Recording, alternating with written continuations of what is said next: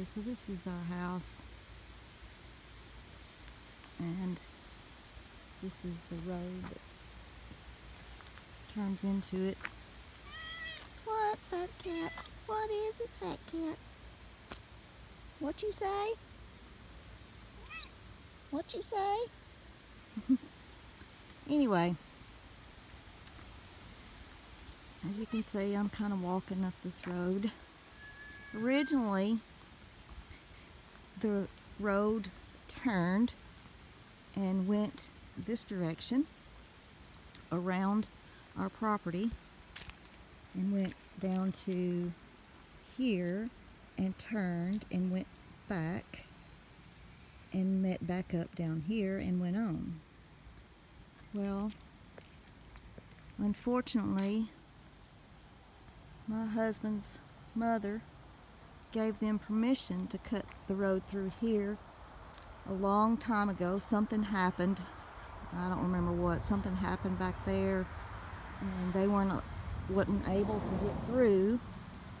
So they started going through her property and then they eventually just asked if they they could just do the road through here. So they were given permission to and they were they told her that for her giving up this portion which I mean as you can see it goes directly I gotta put them garbage cans up the trash ran today but it goes directly between our property which don't mind our mess we're cleaning this up. We finally got the building set in. It's not done it's not leveled or anything but the guy finally got it in.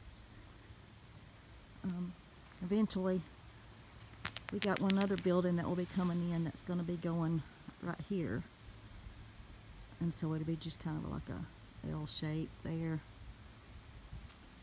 and then but anyway like I said you can see it just comes right up between What you doing, Mr. Frick? Hi, Mr. Frick.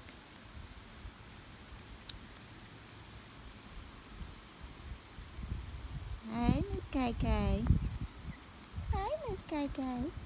she's getting to go to the vet tomorrow and getting fixed Oh, Mr. Max. Hey, Mr. Max. and old man Tucker okay back to what I was saying so anyway back in the day back here all of this was family. They were you know older people quiet people. Well now everybody has passed away and now the kids are in charge. So now where it used to be really quiet back here it has now turned into what is soon to be this is the end of our property right here. You can see our stake.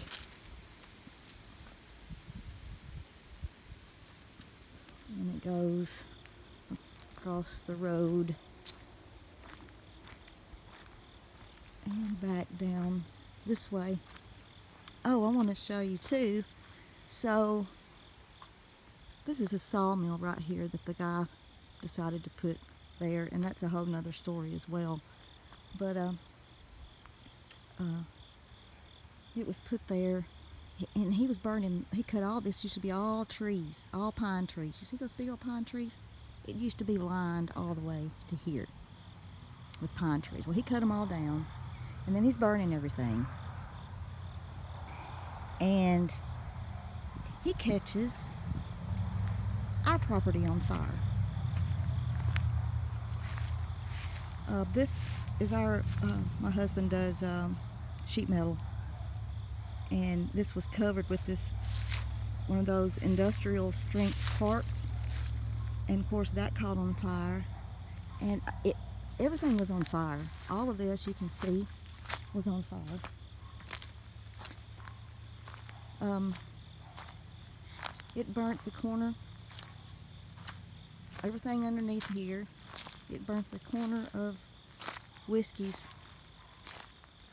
um, lot. And so he's supposed to be in replacing this. He said he's going to get up here, not to worry.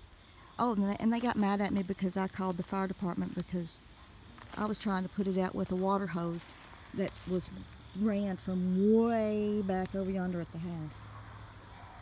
And it was reaching as far as it could. And I'm, I'm supposed to put out the fire that was leaping up these big old pine trees that go, you know. Yeah. But anyway, so as you but as you can see back in the day, I mean the houses are far apart.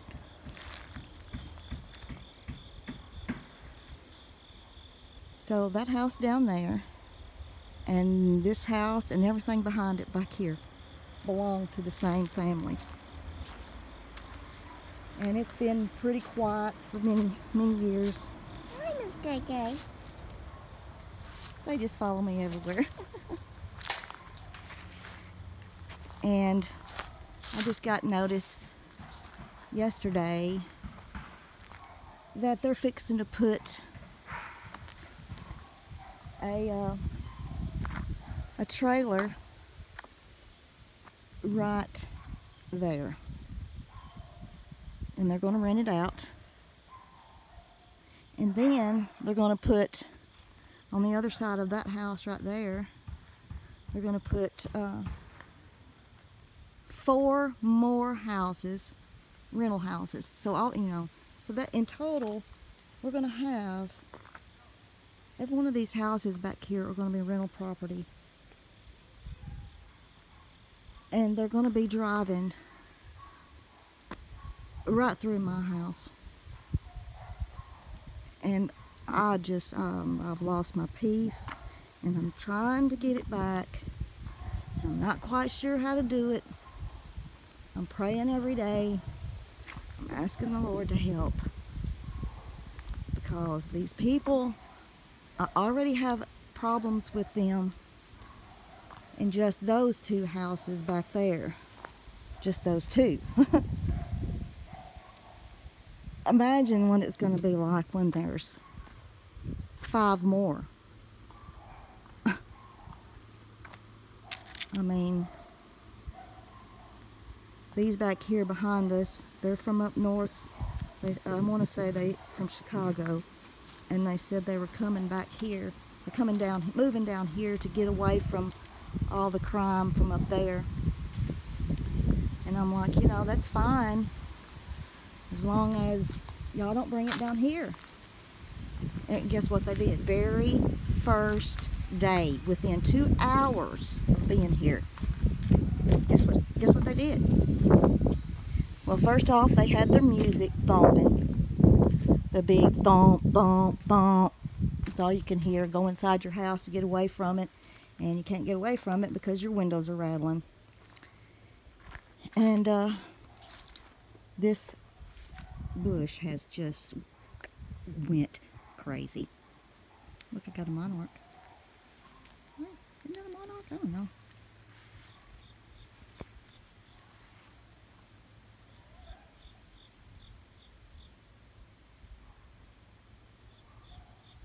Go on, butterfly, before these cats and get you.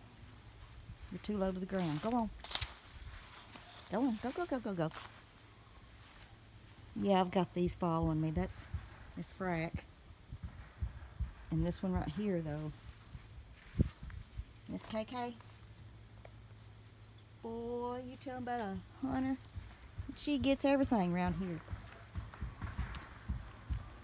Okay, back to what I was saying. Sounds to me like they've been pounding over there on that house. Sounds to me like they're fixing to do that one too and rent that one out. I'll bet you a dime to a donut that's what's supposed to happen. Oh, Lord, give me strength. Y'all, I kid you not. It was so peaceful out here. It was so quiet. I mean, we're you're in the country. Anyway, the very first day they were here, the thump, thump, thumping. And I'm like, okay, you know, it's okay.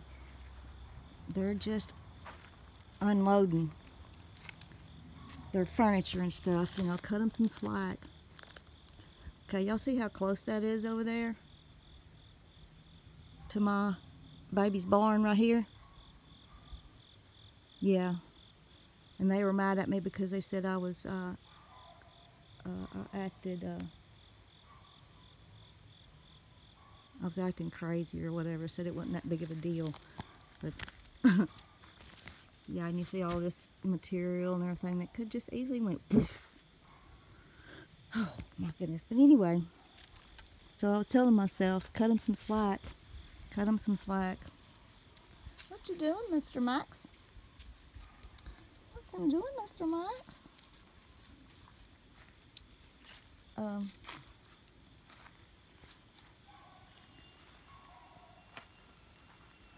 about 30 minutes later, I hear, I don't think whiskey's in here. I hear, um, pow, pow, pow, pow, pow, pow, pow, pow, pow, pow, pow, pow, pow, pow, pow. Even a whole lot more than that. Oh, I jumped up and ran to look, and they were all out in the front, in their front yard. Let me go back over here and let me show you. So you can get the gist of it.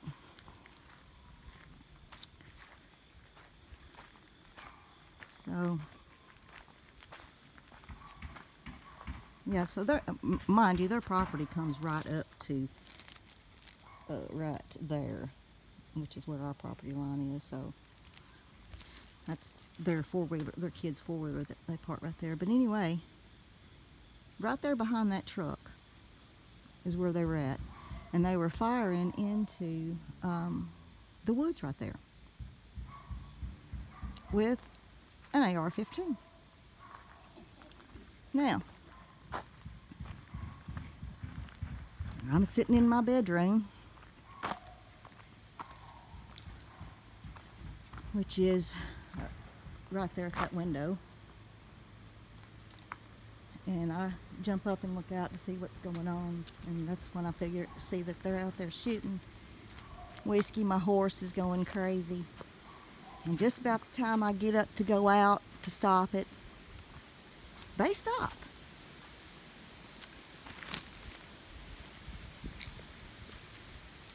So what I'm showing you through here, I don't know if it's not very clear right now, but I'm trying to zoom in can get. Down that road that I just showed you over there, that where the, it is supposed to go, or there is a house back there. So that means when they were shooting through those woods with that AR-15, they were shooting right at that house, and they hit it several times. Thankfully, no one's home. But anyway, I called the, uh, or I sent a message to the landlord, which just happens to be my husband's cousin, and said, hey look, we can't have this. And I explained to her what was going on, and she said, call the law. Well, I said, they've done stopped now. And so, about that time, my husband called and I was telling him and I got out of my mouth what was going on and um, it they started firing again. And while I had my husband on the phone I ran out of the house ran down to the uh, fence here to check on Whiskey which she was going crazy and then ran back over there and got to the end of my property and stopped and yelled at them to please stop. I was like, would y'all please stop?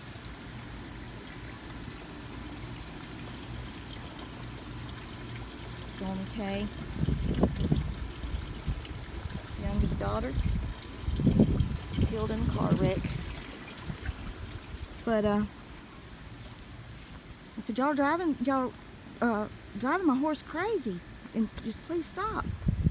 Well, I didn't a bit more get that out of my mouth until my son come running past me faster than a speeding bullet. And y'all, he ran right up to the guy that had the AK, or the uh, yeah, the AR-15. And so of course I had to take off running. My son has is living with a TBI, traumatic brain injury, and so I mean he just he don't have any control over things like that, and he got triggered, and so thankfully I was able to get it um, taken care of. My husband's got our Toyota parked right here because I'm I'm gonna have a flower bed, a tiered flower bed coming down right here. Stepping down to our garden. This is gonna have more garden area. Anyway, um, we got it stopped, or I got it stopped, and they said, well, the landlord gave us permission to do it. I said, I don't care who gave you permission to do it.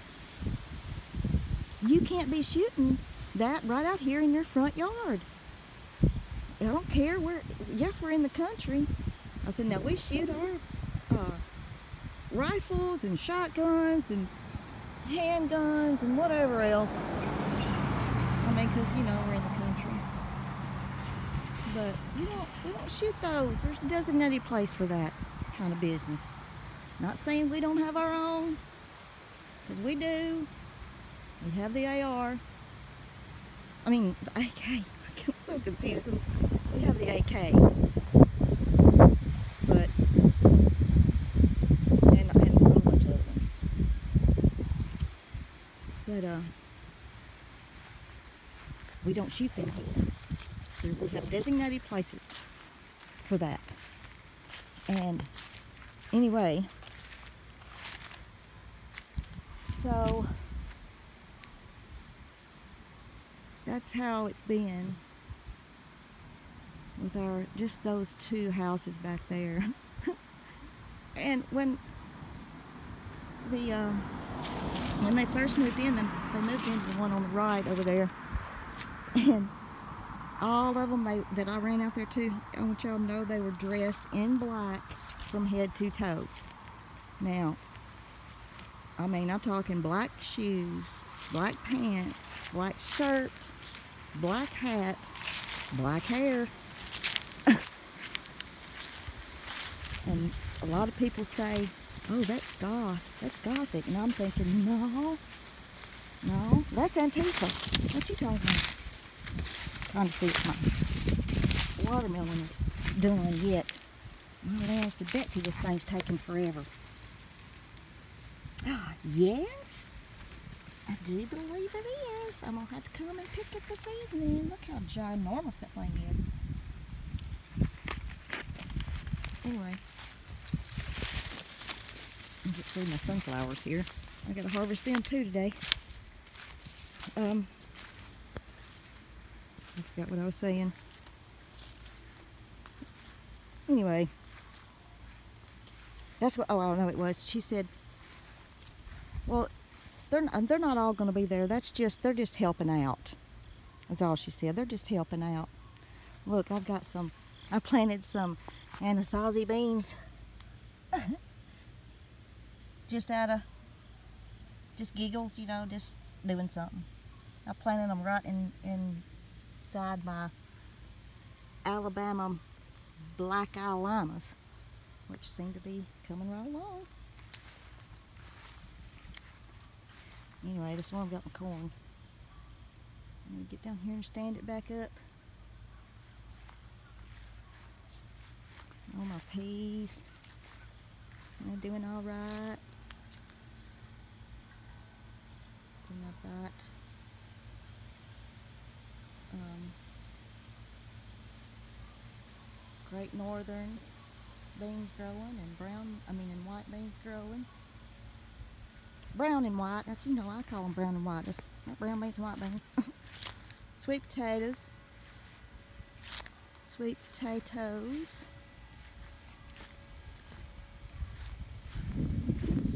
A couple of white potatoes. They didn't good at all. I mean, red potatoes are over there.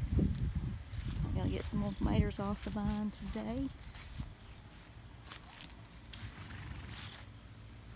What's her doing? pretty girl? What's her doing, pretty girl? Do you finally realize I had the gate open? Yeah. We planted all of these uh, cedar trees down through here. I mean, they weren't but just a couple inches tall when we planted them a couple years ago.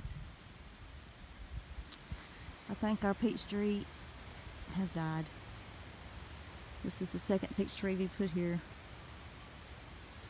I don't like it for some reason. Anyway, what have we got over here? I've got this is uh, black amber corn. You see the I'm telling you, this is just all there is to it. Next time I plant corn, and matter of fact, I may just come back and do it this afternoon.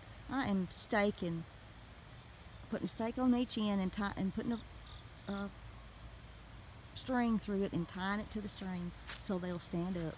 Because, I mean, every daggum time we get a rain, it doesn't matter which direction we plant it. Either, either this direction or the way that corn up there is, it just gets knocked down. Tell you what, I'm very pleased with my peas, y'all. These were all these rogue peas.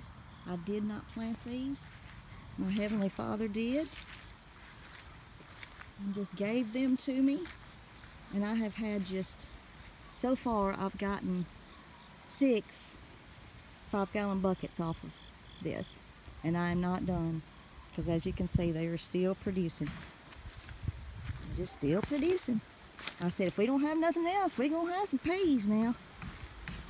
Now this was the old garden part. Still got peas growing over there. And I don't know if, uh, I know in one of my other videos, I showed the, uh, the watermelon that my horse planted. she got out one day and walked through here and had her a little, uh, a little poop and then out of that, we got us a watermelon plant. So she's got one there. And I do believe, yep, there's one here. Look at this. Bless her. So she's got her, she, she got to plant her something in the garden this year. Fat Cat, are you still following me? he adopted us. He just showed up and has been here for now for about a year. He just showed up. Yeah, I still got peas going over here, watermelon. Oh. And I'm trying my best to get my husband to agree to move over to permaculture. I want to stop tilling this ground. I know you can you see where it's just to me this it's going away. And every time he tills it's just we're losing ground. And I mean because it is on a it's on a slope. It's not a big slope, but it is a slope nonetheless. But I'm trying to go to permaculture.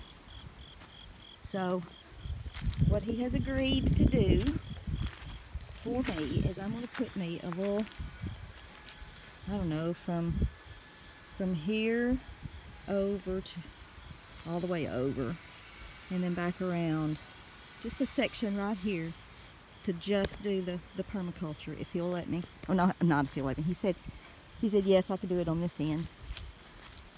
Um, and so I'm just gonna, I'm gonna do that. And I might even bring it up a little bit further on the hill here. Now that I'm thinking about it. Yeah. But anyway, I just feel like that would benefit me and him both. Especially him because he's the one that does all the heavy lifting, the heavy work around here, and he just had major surgery last year on his colon. He had a, a colonostomy bag for about six to eight months, and he finally got that removed. and is back on track. But he's still not all together up to par, you know what I mean? Hi, babies. Hi, babies. What's the babies doing? What's the babies doing? What's the babies doing? Yeah. Yeah, there's my one rooster, the black one. I'm wondering if Hawkeye, the white one, is too, but I can't really tell yet. But we know for sure he is. This is, I call him Old Man Frank. That's Old Man Frank. That's my rooster. Yeah. Yeah. What y'all doing? What you doing, Hawkeye? What you doing, Hawkeye? Yeah. What's him do. Or her doing? I don't know. You sure are pretty. I, you sure are pretty. I really do think he is a rooster. But I don't see the the cone and stuff like old man Frank has, so I don't know. I know when I first got these chickens, that's it, they told me. Um, white chickens lay white eggs.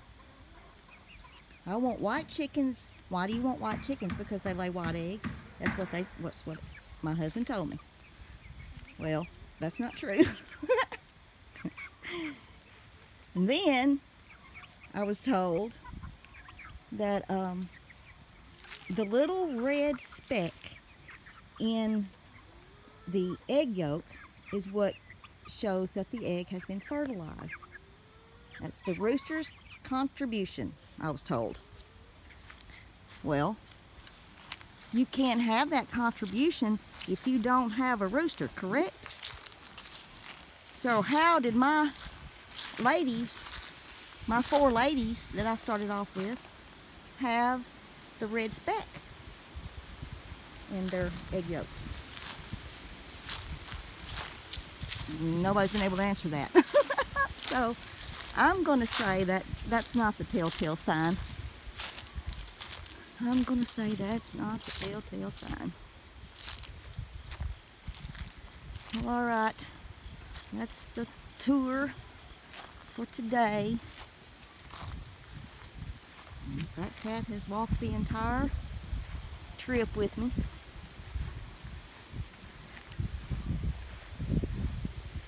It's a beautiful day today, I know that. Beautiful day.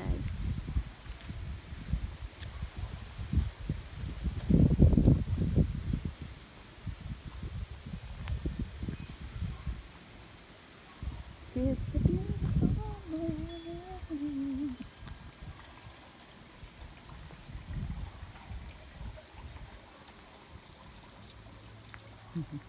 Look who's waiting on me.